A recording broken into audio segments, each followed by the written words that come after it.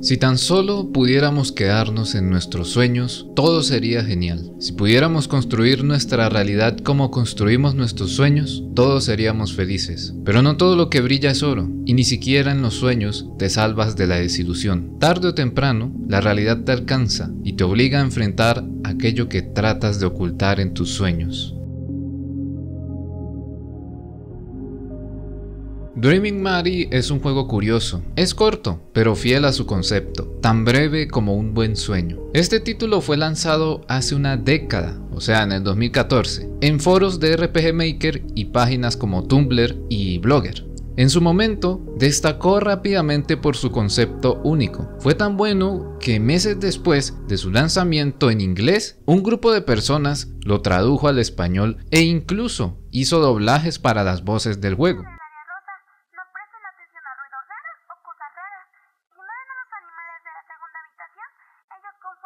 Ya muchos saben cómo se juegan estos títulos. Dreaming Mary me recuerda a Parasite Flower en cuanto a movilidad. Te mueves de izquierda a derecha e interactúas con personajes en un mundo pequeño y colorido. Los puzzles son sencillos, no necesitarás una guía para resolverlos. O bueno, al menos yo no la necesité, creo que tú tampoco. Lo más interesante es que aunque el juego parece simple, cuando lo terminas te deja pensando. Todo se vuelve más profundo cuando obtienes los 5 finales que ofrece, cada uno con un significado diferente y un pequeño mensaje que al unirse revela que este mundo rosa es solo una fachada.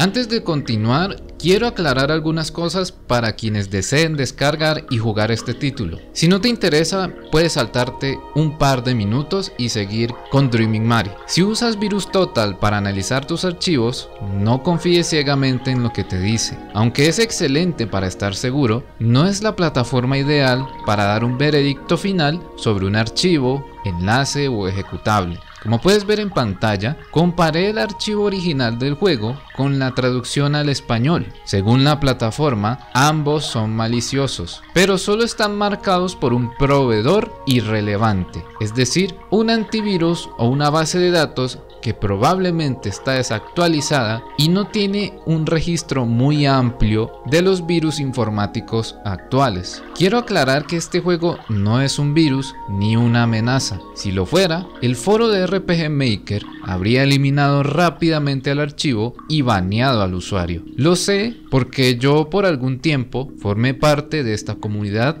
de RPG Maker y ellos son muy estrictos con sus reglas. Para identificar correctamente un virus es mejor usar fuentes confiables con experiencia y amplias bases de datos. En este caso usé Kaspersky, un antivirus de confianza, casi al nivel de Malwarebytes. No detectó ninguna amenaza al analizar las carpetas de ambas versiones. Así que, en conclusión, no les paso archivos contaminados. Tampoco le crean todo a una sola fuente. Sean críticos y analicen la información. Ahora sí, continuemos con Dreaming Mary. En este pequeño mundo juegas como Mari, una chica joven que ama soñar. Desde el principio nos dicen que Mari tiene la capacidad de hacer realidad cualquier cosa, pero solo dentro de sus sueños. Esto significa que cualquier idea o pensamiento puede convertirse en un sueño lúcido para ella. En esta breve aventura te encontrarás con personajes pintorescos y alegres, cada uno con una personalidad y un diseño único, desde una conejita que ama las tareas del hogar hasta un jabalí misterioso que habla poco con Mari. Todos ellos existen para entretener a Mari, hacerla feliz y darle buenos momentos, porque al fin y al cabo todos son amigos. Pero esto suena demasiado bueno como para ser verdad. Sabemos que la vida no puede ser tan feliz sin algo oscuro, y los sueños de Mari no son la excepción. No importa cuántas veces sueñe con un mundo lleno de color y alegría, siempre habrá un pequeño aspecto que comienza como algo mínimo, pero que eventualmente toma relevancia. Dentro de este mundo de ensueño, Mari se refugia. ¿Pero de qué se esconde? Pues de lo que todos a veces tratamos de escapar, la realidad. Ahora voy a ofrecerte mi perspectiva reflexiva al respecto. Este alegre mundo rosa esconde una habitación blanca, vacía de alegría, pero a la vez con una tranquilidad extraña. Su silencio, en lugar de ser relajante, es inquietante. A mi parecer, esta habitación representa el subconsciente de Mari, esa parte de nosotros que por más placentero que sea nuestro sueño, siempre aparece para recordarnos que no es real. Nuestro verdadero mundo es el que vemos con los ojos abiertos, no con los ojos cerrados. El juego se oscurece cuando descubres que el verdadero final ocurre cuando unas manos misteriosas agarran a Mari y en la pantalla final aparece el mensaje el fin de un sueño y el comienzo de una pesadilla. Es confuso al principio, pero tras obtener los otros finales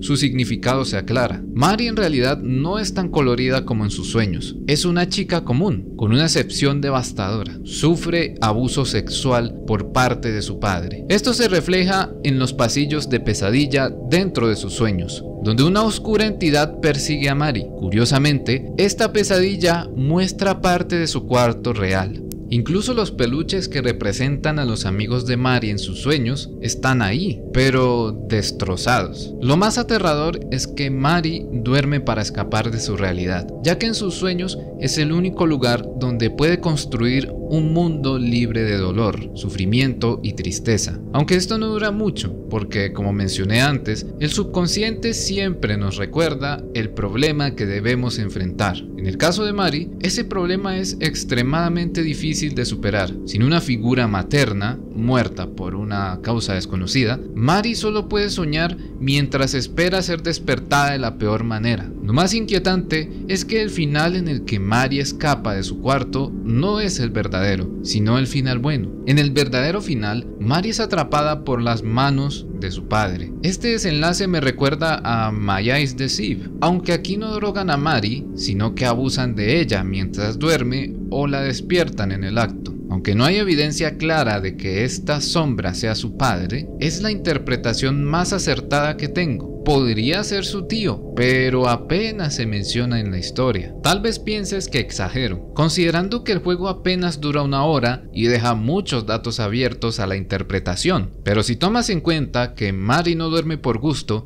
sino para escapar de su realidad, lo que digo sobre su padre y el abuso cobra más sentido. Me habría gustado que el juego durara más, pero creo que cumple con su concepto. Los buenos sueños son cortos y los malos parecen eternos. Mari nunca pudo escapar de las garras de quien sea que intentaba usarla como objeto sexual. Si nos basamos en el final verdadero, claro. Si llegaste hasta aquí, te invito a unirte a mi servidor de Discord y a compartir tus experiencias conmigo. También puedes apoyarme en Coffee, así podré mejorar las herramientas del canal. Sin más que decir, soy Isan Lee, un random de internet. Muchas gracias a la primera persona que me donó en Coffee. Adiós.